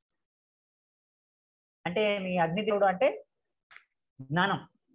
అర్జునుడి ద్వారా అంటే మన ఇంట్యూషన్ ద్వారా వచ్చిన ఒక జ్ఞాన వీచికనే అగ్ని అగ్నిదేవుడు అన్నమాట సో అక్కడ ఉన్న ఆ జ్ఞానం వల్ల ఆ ఆలోచనలన్నీ చెల్లాచెదురైపోయాయి. ఆ ఇంద్రియాలలో కూరుకుపోయిన ఆలోచనలు అంతా బయటకు వచ్చేస్తాయి ఓకే? సో అదంతా జరిగింది కదా. అప్పుడు అగ్నిదేవుడు వచ్చి మెచ్చుకొని అగ్నిదేవుడు అర్జునుడికి ఒక ధనస్సు ఇస్తాడు.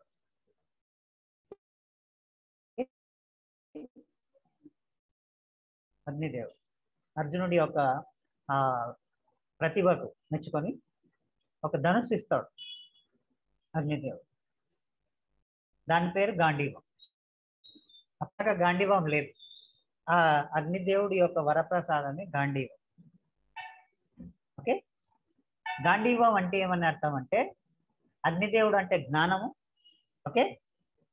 అగ్నిదేవుడు ఏమిచ్చాడు అర్జునుడికి? గాంధీవం అనే ధనుసు ఇచ్చాడు. గాంధీవం అంటే ఏమిటంటే కాన్ఫిడెన్స్ కాన్ఫిడెన్స్ అంటే ఆత్మవిశ్వాసం. ఓకే? అంటే అప్పటిదాకా అర్జునుడికి ఆత్మవిశ్వాసం అనేది లేదు అక్కడ. అప్పుడు వచ్చింది. ఎప్పుడైతే కాండవ వనాన్ని దహించేసి ఇంద్రుణ్ణి జయించినప్పుడు వచ్చింది. ఓకే? కాండవ వనాన్ని దహించి ఇంద్రుణ్ణి జయించినప్పుడు కాన్ఫిడెన్స్ వచ్చింది. అంటే ఆత్మవిశ్వాసం వచ్చింది. అంటే మనకి ఎప్పుడు ఆత్మవిశ్వాసం వస్తుందంటే మనకు ఎప్పుడు ఎప్పుడు ఆత్మవిశ్వాసం వస్తుందంటే మన ఇంద్రియాలను మనం జయించినప్పుడు మనకు ఆత్మవిశ్వాసం వస్తుంది. అర్థమైందా? మనం ధ్యానంలో ఎప్పుడైతే ఇంద్రియాలను మనం కంట్రోల్ చేసుకుంటామో ఆ, ఇంద్రియ ఇంద్రి మన ఇంద్రియాల మీద మనం పట్టు సాధిస్తామో అప్పుడు మనకు కాన్ఫిడెన్స్ వస్తుంది మన మీద మనకి. అప్పటిదాకా మనం ఇంద్రియాలకు వశం అయిపోయి ఉంటాం. ఇంద్రియాలు ఏం చెప్తే అది చేస్తుంటాం ఆత్మవిశ్వాసం అంటే ఏమి? అర్థం. మన మీద మనకు విశ్వాసం. ఆత్మ అంటే నేను. నా మీద నాకు విశ్వాసం. అంటే అప్పటిదాకా ఇంద్రియాల మీద ఇంద్రియాలకు లోబడి ఉన్నాం. ఇంద్రియాలకు లోబడి ఉన్నప్పుడు ఆత్మవిశ్వాసం లేదు. మనం పర తన్- పర పరాధీనంలో ఉన్నప్పుడు మన మీద విశ్వాసం ఉంటుందా మనకు? మనం ఇంద్రియాలకు లోబడి ఉన్నాం. ఇంద్రియాలు ఏం చెప్తే అది చేస్తున్నప్పుడు? ఆ? మాంసం తప్పు అని తెలిసి ఉన్నా జీవహింస అని తెలిసి ఉన్నా నోటి రుచి కోసం మనం తింటున్నాం తింటున్నప్పుడు మనము అది తప్పు అని తెలుసు అది చేయకూడదు అని తెలుసు కానీ అదే తింటున్నాం. అంటే ఏమని? ఆ ఇంద్రియం చెప్తుంది నాలుక చెప్తుంది తిను బాగుంటుంది బాగుంటుంది. అంతకన్నా రుచిగా లేదు ఏ ఏ కూరగాయలు ఉన్నాయి చెప్పు అని చెప్తుంటారు కదా. అంటే ఆ ఇంద్రియానికి లోబడి ఉన్నావు. నీ లోపల నీ జ్ఞానం ఏం చెప్తుంది? అది తప్పు జీవహింస తప్పు అని చెప్తుంది. కానీ ఇంద్రియం ఏం చెప్తుంది? రకరకాల కారణం చెప్తుంది. అంటే మొక్కల్లో ప్రాణం లేదా? ఏమి? ఆ? ఏ మొక్క ఏ వెజిటబుల్స్ తింటే ఏమన్నా అంత రుచిస్తాయా నీకు? ప్లెజర్స్ ఇంద్రియాలంతా ప్లెజర్స్ని కోరుకుంటాయి. అంటే లోపల నీ ఆత్మ నీకు తప్పని చెప్తున్నా అక్కడ బయట ఇంద్రియాలు రుచిని అంటే ఇంద్రియాలు డామినేట్ చేస్తున్నాయి. ఇంద్రియాల మాట దీన్ని అది తప్పని తెలిసినా నువ్వు తినేస్తున్నావు. చాలా మందికి తెలుసు తప్పని జీవహింస పాపం అని తెలుసు. కానీ ఇంద్రియాలకు లోబడి వాళ్ళు తినేసుకుంటారు దానికి రకరకాల సాకులు చెప్తారు. ఆ మొక్కల్లో ప్రాణం ఉంటుంది కదా వాళ్ళని వాళ్ళు సమర్థించుకోవడానికి. అంటే వాళ్ళు కాదు మాట్లాడేది వాళ్ళ ఇంద్రియాలు మాట్లాడుతున్నాయి అని అర్థం చేసుకోవాలి. వాళ్ళ ఆత్మ కాదు మాట్లాడేది వాళ్ళ ఇంద్రియాలు మాట్లాడుతున్నాయి. అవు అది తప్పని తెలుసు కానీ రుచిని వదులుకోలేకపోతున్నా బా అని కూడా కొంతమంది చెప్తుంటారు. అది చూస్తే తినాలనిపిస్తుంది ఆ వాసన చూడంగానే నాకు ఆ ఇంకా వెళ్ళి తినాలనిపిస్తుంది. ఆ? అని చెప్తుంటారు. అంటే ఏంది వాళ్ళు అది తప్పని తెలుసు కానీ వాళ్ళకి అది దానికి లొంగిపోయారు. అంటే వాళ్ళు వాళ్ళ ఆధీనంలో లేరు ఇంద్రియాల ఆధీనంలో అప్పుడు వాళ్ళకి కాన్ఫిడెన్స్ ఏముంటది వాళ్ళ మీద? వాళ్ళు పరాధీనులు. అంటే వాళ్ళ ఆత్మ అంటే వాళ్ళ ఒరిజినల్ ఎసెన్స్ అంటే ఇంద్రియాలు కూడా వాళ్ళవే. కానీ ఇంద్రియాల ఇంద్రియాలు వాటి టూల్స్ నువ్వు నీ మాట ఎవరు వినాలో వాళ్ళ మాట నువ్వు నువ్వు వింటున్నావు. ఓకే? నువ్వు వాడుకోవాల్సిన వాడుకోవాల్సినవి నిన్ను వాడుకుంటున్నాయి. మనం పని మనిషితో పని చేయించుకోవాలి పని మనుషులే మనతో పని చేపిస్తే?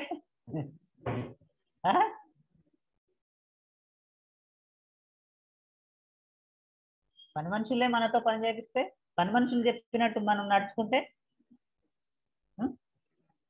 ఎవరు యజమానులు అయినట్టు అప్పుడు పని మనుషులే యజమానులే కదా. సో అలా అప్పుడు మనకు ఆత్మవిశ్వాసము మన మీద మనకు నమ్మకం లేదు. మనకు మీద మనకు విశ్వాసం లేదు. సో ఎప్పుడు వస్తుంది ఆ విశ్వాసం అంటే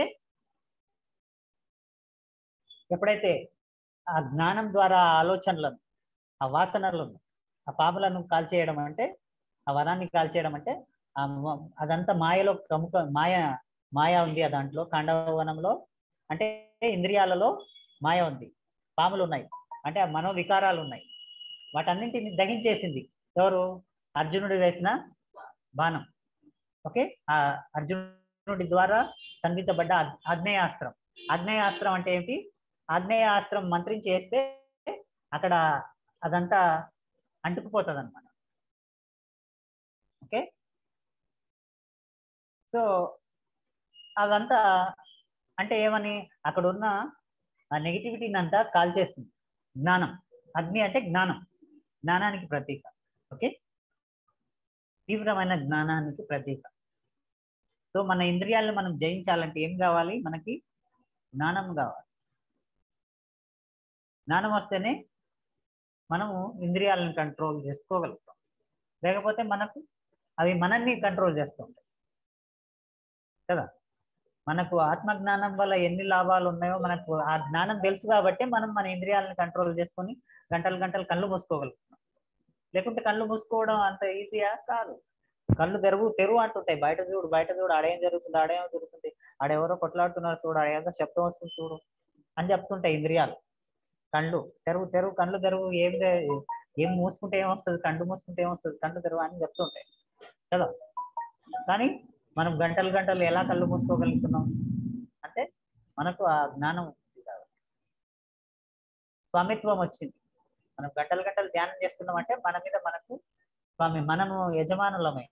ఇంద్రియాలను మనం మన వశంలో వేసుకున్నాం కదా? సో అది ఎక్కడి నుంచి వస్తుంది? అంటే ధ్యానము చేస్తే ఏమేమి వస్తాయో ఇంద్రియాలను కంట్రోల్ చేయడం వల్ల ఎన్ని లాభాలు ఉన్నాయో మనకు తెలిస్తే ఆ జ్ఞానం ద్వారా మనము ఇంద్రియాలను కంట్రోల్ చేయగలుగుతాం. కదా? అంటే అగ్ని అంటే జ్ఞానము. జ్ఞానం వల్లనే నెగిటివ్ థాట్స్ కూడా వెళ్ళిపోతాయి. ఎందుకు మనం క్లాసులు చెప్పుకుంటున్నాం అంటే జ్ఞానం ద్వారానే నువ్వు. ఇవన్నీ వినకపోతే మనం గంటలు గంటలు కూర్చోలేం. సాధన చేయలేం. కదా? మనం ఇంద్రియాలు చెప్పినట్టు ఇరవై నాలుగు గంటల సీరియల్స్ చూసుకుంటూ కూర్చుంటాం. ఆ? చూడాలి ఏమి సీరియల్స్ చూడాలి? వదినమ్మ ఏం చెప్ వదినమ్మ సీరియల్ ఏమవుతుందో ఆ? జానకి రామ సీరియల్ ఏమవుతుందో అని మన ఇంద్రియాలు. ఈరోజు ఆదివారం ఏమేమి ఎన్నెన్ని సినిమాలు వస్తుంటాయో టీవీలో కదా? ఆ? సో మనం ఈడ ఈ గంటలు గంటలు ఈడ ఎందుకు కూర్చుంటాం మనం? మన ఇంద్రియాలు ఎంత కంట్రోల్లో ఉన్నాయి కాబట్టి మనం ఇంతసేపు ఈడ కూర్చుంటాం కదా లేకపోతే ఆడ పోయి కూర్చుంటాం టీవీ ముందర కూర్చుంటాం వీడ ఎందుకు కూర్చుంటాం కదా ఆ? ఆదివారం కాగానే నాన్ వెజిటేరియన్ చేసుకుంటుంటారు ఆ? మనం కూడా చేసుకున్నాం ఒకప్పుడు ఆ? ఆదివారం రాగానే నాన్ వెజిటేరియన్ చేసుకున్నాం కానీ ఇప్పుడు ఇంద్రియాలని మనం వశం చేసుకున్నాం కాబట్టి నాన్ వెజిటేరియన్ కాకుండా వెజిటే వెజిటబుల్ బిర్యానీ చేసుకుంటాం. కదా? అట్లా.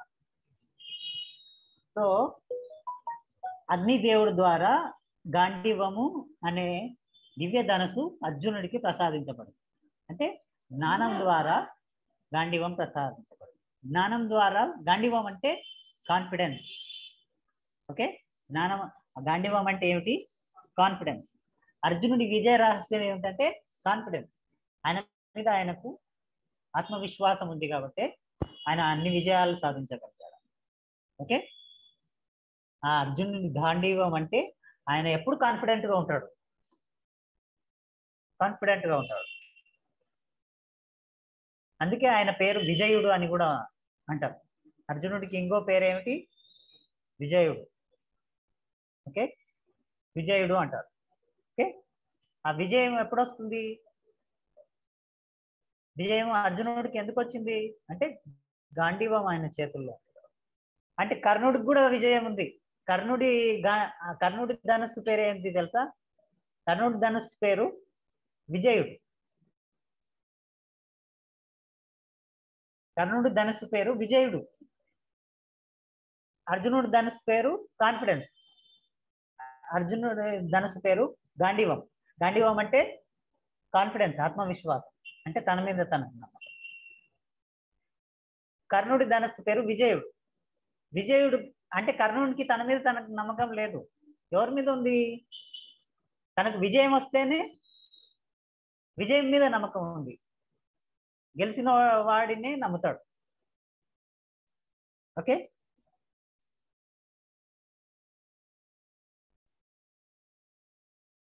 అర్థమైందా? గెలుపు ఎక్కడుందో అక్కడ దాన్ని నమ్ముతాడు. అంటే వాళ్ళు ఏం చెప్తారు? మేధాశక్తి ఏం చెప్తుంది? సరే మీరు ఇంత ధ్యానం చేసింది కదా మీకేం వచ్చింది? ఏం చేయకపోయినా వాళ్ళు బాగున్నారు కదా అంటాడు. మేధాశక్తి. మేధాశక్తి ఏం చెప్తుంది? ఆ? మేధాశక్తి ఏం చూస్తుంది? విజయాన్ని చూస్తుంది. ఆత్మవిశ్వాసం. మన లోపల ఆత్మవిశ్వాసం అది. మన ఆ లోపల ఆత్మవిశ్వాసాన్ని చూడరు. ఈ మేధావులు. మేధావులంతా ఏం చూస్తారు? మన లోపల ఆత్మవిశ్వాసాన్ని చూడరు. మనము ఎన్ని కష్టాలు వచ్చినా ఎదుర్కొంటున్నాం కదా. మా అమ్మ చనిపోయా మా నాన్న చనిపోయా మా అన్న చనిపోయా కానీ నా లోపల ఏమైనా కాన్ఫిడెన్స్ తగ్గిందా? నేనేమైనా కృంగిపోయానా? ఆ? నేను నా లోపల ఎప్పుడన్నా డిప్రెషన్ కనపడిందా మీకు? సీరియస్గా రెండు సంవత్సరాల్లో ముగ్గురు పోయింది మా ఫ్యామిలీ నా లోపల ఎప్పుడన్నా డిప్రెషన్ కనిపించిందా మీకు? ఇది ఆత్మవిశ్వాసం అంటే ఇది నా ఆత్మవిశ్వాసం. అదే గాంధీవం. కానీ మేధావులకు ఇది కనపడదు. మేధావులు ఏం చూస్తారు?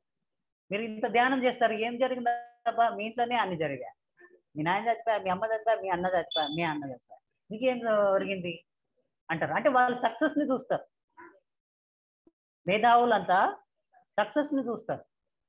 ఆత్మవిశ్వాసాన్ని చూడరు. ఆత్మజ్ఞానులంతా ఆత్మవిశ్వాసాన్ని చూస్తారు. సక్సెస్ ఫెయిల్యూర్ని చూడరు. సిద్ధ సిద్ధ్యవు సమవు భూత్వ సమత్వ యోగ ఉచితే అన్నాడు కదా. కృష్ణుడు కూడా దేన్ని చూస్తాడు? భగవంతుడు దేన్ని చూస్తాడు? నీ ఆత్మవిశ్వాసాన్ని చూస్తాడు. నువ్వు ఫెయిల్ అయినావా? పాస్ అయినావా చూడాడు. నువ్వు విజయం సాధించావా? అని చూడాడు. నువ్వు ఎన్ని కష్టాలు వచ్చినా ఎలా ఎదుర్కొంటున్నావు? అన్నది భగవంతుడు చూస్తాడు. ఆ ప్రకృతి చూసేది నీ లోపల ఏం చూస్తుందంటే నువ్వు ఎన్ని విజయాలు ఎన్ని విజయాలు సాధించినావు అని కాదు. ఎన్ని కష్టాలు వచ్చినా నువ్వు దాన్ని ఎలా ఎదుర్కొన్నావు అన్నది చూస్తుంది కృష్ణుడు ఏం చూశాడు అక్కడ? కృష్ణుడు ఏం చెప్పాడు?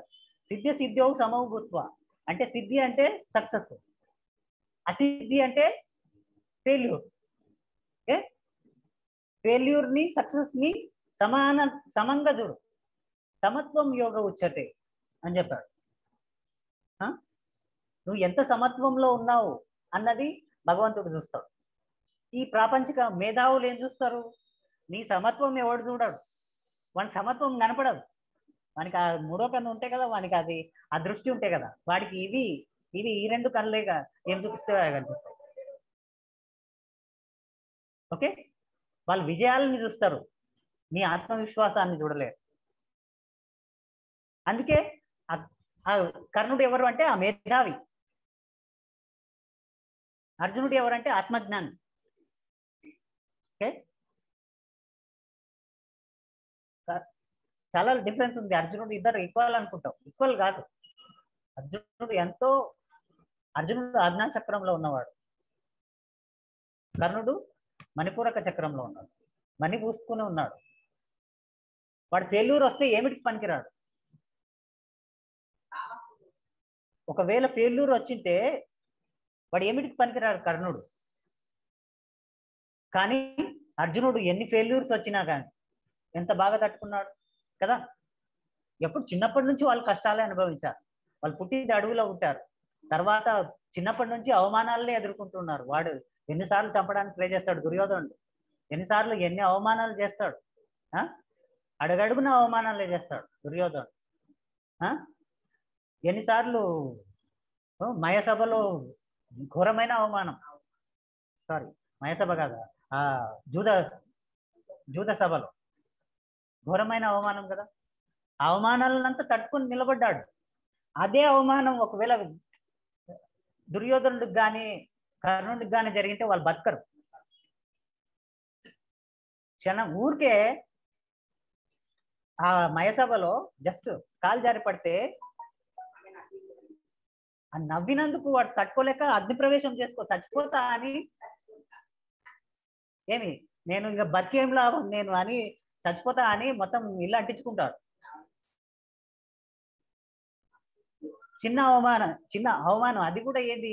మామూలుగా కాలు జారిపట్టి ఎవరైనా కొంచెం అంటే ఆమె కూడా ఊరికి జస్ట్ స్మైల్ వచ్చింది. అంటే మనం ఎవరైనా కాదు జస్ట్ ఎవర ఆడ చూడకుండా మనం ఎవరైనా కింద పడితే ఆటోమేటిక్గా జనరల్గా కొంచెం స్మైల్ వస్తుంది. దానికే వాడు ఎంత అవమానం అనుకొని అంటే చిన్న వాటికి తట్టుకోలేడు తెల్లూరికి తట్టుకోలేడు. అర్జునుడికి ఎన్ని అవమానాలు వచ్చినాయి? కానీ ఎంత తట్టుకున్నారు? అది ఆత్మవిశ్వాసం అంటే అర్థమైందా? సో గాంధీవం అంటే ఆత్మవిశ్వాసము. అర్జునుడి యొక్క ధనస్సు ఏంటి అంటే ఏం అర్జునుడి యొక్క ధనస్సు పేరేమిటి అంటే అది విజయాలను కూడా సాధిస్తుంది కాన్ఫిడెన్స్ ఓకే? విజయాలు రావు అని కాదు విజయాలు కూడా సాధిస్తుంది. మరి చివరికి విజయం సాధించింది అర్జునుడే కదా విజయుడు అయ్యాడు కదా. ఎన్నో విజయాలు సాధించాడు. ఇప్పుడు ఆ ఇంద్రప్రస్థంలో ఎన్నో విజయాలు సాధిస్తాడు. అదంతా మనం ఇప్పుడు చెప్పుకుందాం. ఇంద్రప్రస్థం స్థాపించబడింది కదా. సో గాంధీవం అంటే కాన్ఫిడెన్స్. ఓకే? అర్థమైందా? గాంధీవానికి చాలా పేరుంది. గాంధీవం అర్జునుడు అంటే గాంధీవం. గాంధీవం అంటే ఏమిటి? ఆత్మవిశ్వాసం సెల్ఫ్ కాన్ఫిడెన్స్ ఓకే? సో అది ఎవరు ఇచ్చారు? అగ్నిదేవుడు ఇచ్చాడు. అగ్నిదేవుడు అంటే తీవ్రమైన జ్ఞానం. జ్ఞాన తీవ్రత ఉన్నప్పుడే నీకు సెల్ఫ్ కాన్ఫిడెన్స్ అనేది వస్తుంది. ఓకే? నీ మీద నీకు విశ్వాసం ఎప్పుడు వస్తుంది నువ్వు ఎంతో జ్ఞానం ఉన్న జ్ఞానివైతే కానీ నీకు ఆత్మవిశ్వాసం వస్తుంది. లేకపోతే నీకు విజయాల మీద విశ్వాసం ఉంటుంది కానీ నీ మీద నీకు విశ్వాసం ఉంటుంది విజయాలు అనేటివి దానికి రకరకాల కారణాలు ఉంటాయి. ఓకే? ఆ? విజయాన్న విజయం కాదు నీకు అసలు సంపద. ఓకే? విజయం విజయం కాదు అపజయం అపజయం కాదు. అవన్నీ రకరకాల పాఠాలు నేర్పించే రకరకాల సంఘటనలు జీవితం. అర్థమైందా? ఆత్మజ్ఞానంలో యొక్క సంపద ఏమిటంటే ఆత్మవిశ్వాసం. అర్థమైందా? అర్థమైందా? ఆ? ఆ, చాలా మంది అంటుంటారు మీరు ఏం ధ్యానం చేస్తే ధ్యానం చేస్తే ఏమొచ్చింది అని అంటుంటారు. ఏమొచ్చింది అంటే ఆత్మజ్ఞాన విశ్వాసం వచ్చింది అని. అవును. మనము మరి చిన్న తలకాయ నొప్పి వేస్- వస్తేనే మన అందరు డా డాక్టర్ల దగ్గరికి వెళ్ళి ఇన్ని మందులు తింటారు. మనం ఇరవై సంవత్సరాలు అయింది ఒక టాబ్లెట్ లేదు డాక్టర్ దగ్గరికి వెళ్ళలేదు అది ఏమిటి అది? మన మీద మనకు నమ్మకం ఆత్మవిశ్వాసం. నాకు డాక్టర్ల మీద కాదు నమ్మకం. మేధావులకంతా డాక్టర్ల మీద నమ్మకం మెడిసిన్ మీద నమ్మకం. ఆత్మజ్ఞానులకు వాళ్ళ శక్తి మీద వాళ్ళకు నమ్మకం.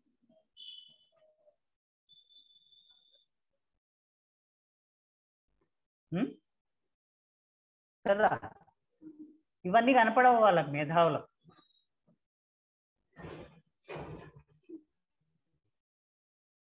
సో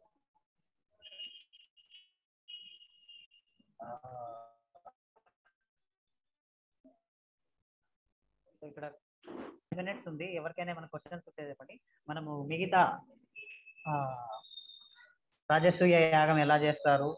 అర్జునుడు ఆ మళ్ళీ ఆ ఆవులని ఆ గోవుల్ని ఎలా మళ్ళిస్తాడు? తర్వాత ఆయన ఆ వనవాసం చేయాల్సి వస్తుంది ఇప్పుడు. అదంతా మనము నెక్స్ట్ వీక్లో చెప్పుకుందాం. దాని వాటి యొక్క అంతరార్థం కూడా మరి నెక్స్ట్ వీక్ చెప్పుకుందాం. ఓకే? అర్జునుడి వనవాసంలో మణిపురానికి వెళ్తాడు. మరి ఓకే? మణిపురం అంటే ఏమిటి? అక్కడ మణిపురంలో చిత్రాంగదను పెళ్ళి చేసుకుంటాడు. ఆ చిత్రాంగద అంటే ఏమిటి? చిత్రాంగదకు బబ్రువాహనుడు పుడతాడు. తర్వాత ఉలూచి అని ఆమె ఉంటది.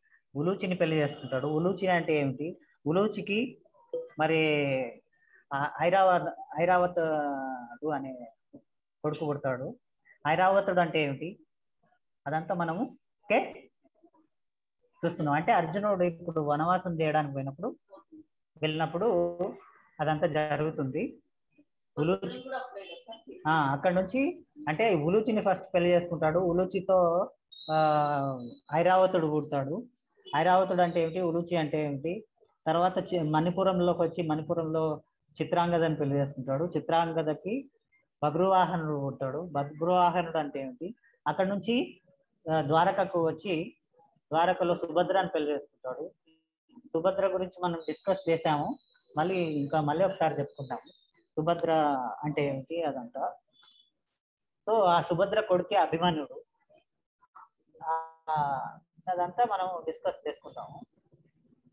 సో అభిమన్యుడి ద్వారానే మళ్ళీ ఆ తర్వాత ఆ వంశం అంతా అభిమన్యుడి కొడుకు పరీక్షిత్తు పరీక్షిత్తు ద్వారానే మళ్ళీ నెక్స్ట్ జనరేషన్ కొనసాగుతుంది సో అదంతా ఏమిటి పరీక్షిత్ అంటే ఇవన్నీ తెలుసుకోవాలి. సో ఈలోపు మనం ఒక పది నిమిషాలు ఉంది. ఎవరికైనా ఏమైనా క్వశ్చన్లు ఉంటే అడగండి. ఆన్లైన్లో కానీ ఇక్కడ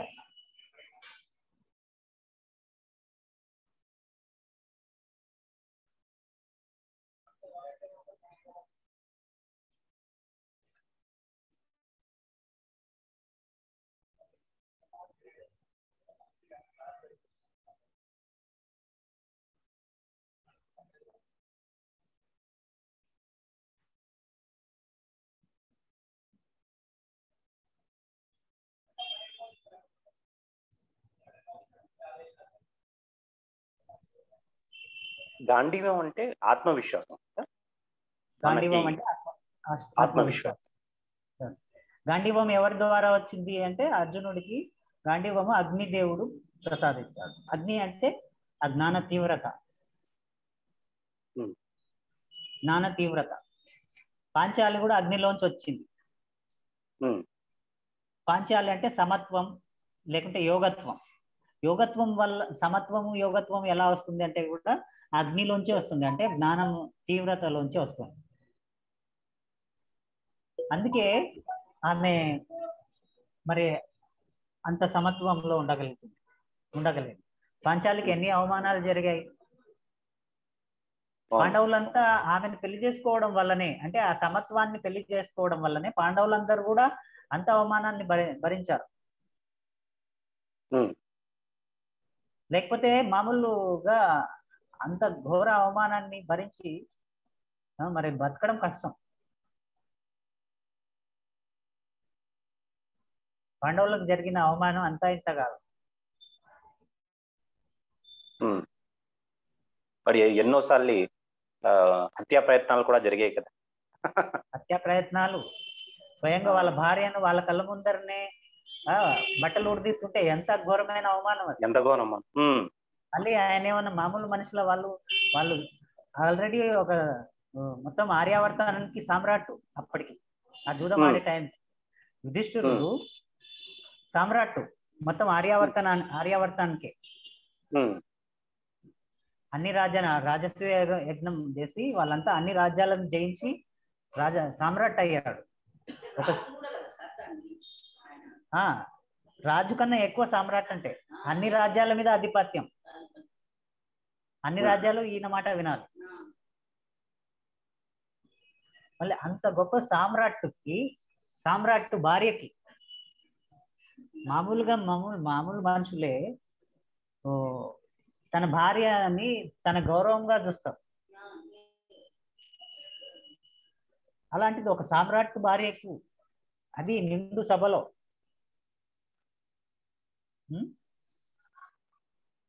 అంత ఘోర అవమానాన్ని ఎవరు తట్టుకోగలుగుతారు? ఎంత ఎంత ఎంత ఉండాలి? కదా.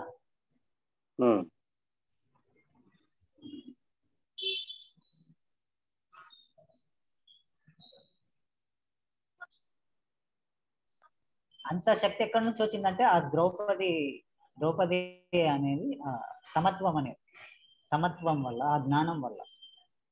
వాళ్ళ ధర్మానికి అంతగా ఎందుకు కట్టుబడ్డారు? అక్కడ ఏం లేదు వాళ్ళకి శక్తి లేకనా ఆపలేరా? కానీ వాళ్ళు అనుకున్న ఆ- రూల్స్కి కట్టుబడ్డారు. వాళ్ళు ఏమైతే షరతులు పెట్టుకున్నారో ఆ షరతులకు కట్టుబడ్డారు. ఒక క్షణంలో ఆ షరతుల్ని కాదనుకుంటే జరగదు అది. కదా. ఆ షరతులకు అవును. కట్టుబడ్డారు.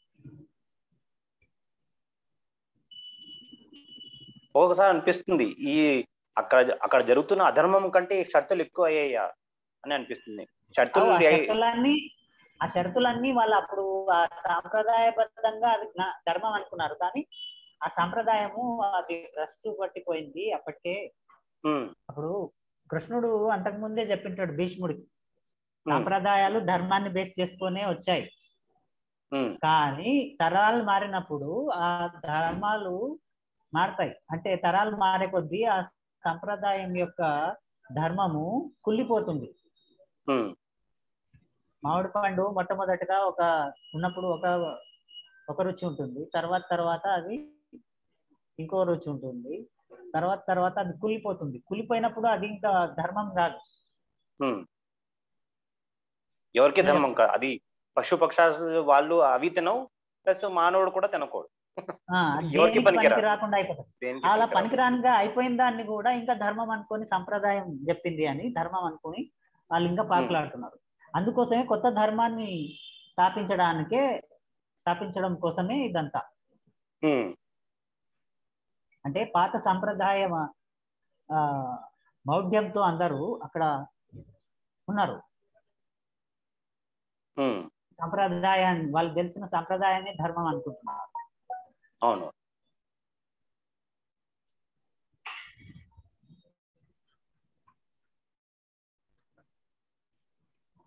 బాగుంది మరి ఎన్నో ఆ విషయాలన్నీ తెలుస్తున్నాయి. కానీ ఈ ఫస్ట్ మహాభారతం తెలుసుకోవడం ఒకటి మహాభారతంలో ఉన్న ఈ గూఢమైన తత్వాలు తెలుసుకోవాలి. తెలుసుకోవడం అన్నది ఇంకా అది చాలా అది నెక్స్ట్ ఫేజ్ అన్నమాట. ఉమ్. సో అంత మరి అంత డెప్త్ నాలెడ్జ్లో చెప్పగలిగే వ్యక్తి ఎవరన్నా ఉన్నారంటే మరి మాస్టర్ కొండారు. ఎందుకంటే ఇప్పటి వరకు. అంటే ఇప్పటి వరకు ఇంత ఇంత డెప్త్గా ఎవరు అనలైజ్ చేయలేదు. ప్రతి ఒక్క. విషయాన్ని ప్రతి ఒక్క సంఘటనని ఇంత డెప్త్గా అనలైజ్ చేసిన వాడిని అయితే నేనైతే చూడలేదు. ఫస్ట్ టైం ఎందుకంటే అనుకున్నా. ఎందుకంటే నేను డాక్టర్ న్యూటన్ గారు ఒక క్లాస్లో వెళ్ళినప్పుడు ఆయన ఏదో ఒక చిన్న సంఘటన చెప్పి ఆ మరి మహాభారతంలో ఉన్న ఈ చిన్న సంఘటనని మరి మీరు ప్రతి ఒక్క సంఘటనని అనలైజ్ చేసి మీరు అంటే దాన్ని యాక్చువల్లీ దాని గూఢ అర్థాన్ని మీరు తెలుసుకోండి. అది ఒక ప్రాజెక్ట్ కింద ఎవరన్నా చేపట్టాలి ఆ చేపట్టేవాడు కావాలి అనేసి అన్నారు అనమాట అప్పట్లో. ఆ, ఆ, ఒక సెవెన్ ఎయిట్ ఇయర్స్ బ్యాక్ అనుకుంటా. అప్పుడు ఆయన ఒకసారి సెషన్ అటెండ్ అయినప్పుడు బంజారా హిల్స్లో అయింది ఉంది కదా. సో అంచేత నాకు తెలిసి ఎవరు అంత డెప్త్గా వెళ్ళలేదు అనుకుంటా ఏదో కొన్ని సంఘటనలు వెళ్ళగలుగుతారు. కానీ ఆ, ఆయన చెప్పిన వ్యక్తి మీరన్నమాట. అంటే ప్రతి ఒక్క సంఘటన దాన్ని డీకోడ్ చేసి ఆ మరి ఇంత చక్కగా చెప్పడం అంటే అది ఆధ్యాత్మిక మన దృక్పథ ప్రకారం చెప్పడం. అంటే ఏదో అంటే మా మహాభారతం చాలా మంది చెప్పుకుంటారు కానీ అది యాక్చువల్గా మన ఈ ఒక పిఎస్ఎస్ఎం రూల్స్ దాని ప్రకారం చెప్పడం ఆ- గూఢమైన రహస్యాన్ని బయట తీయడం అన్నది అది ఒక బాగా ఒక గ్రేట్ ఎన్లైటెన్ మాస్టర్కి సాధ్యం ఉమ్. ఆ అంగరాజు అంటే అంగ అంగ అంటే మనకు ఆర్గాన్ అని వస్తుంది అనమాట అంటే అంగరాజు. అంటే మేధ మేధస్సుకు ప్రతీక. మేధస్సు అన్నమాట. మేధావులు మేధస్సు అన్నమాట. మేధస్సు ఎక్కడ ఉంటుంది? బ్రెయిన్లో సో అది.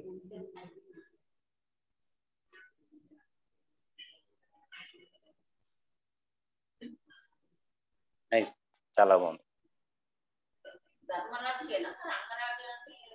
అంగరాజు అంటే కర్ణుడు. అవునవును. అదే అంగరాజు అంటే కర్ణుడు దేనికి ప్రతీక అంటే మేధస్సు మేధావులకు ప్రతీక. మేధావులు టాలెంటెడ్ ఫెలోస్ ఉంటారు కదా. పండితులు వీళ్ళందరికీ ఆయన ప్రతీక.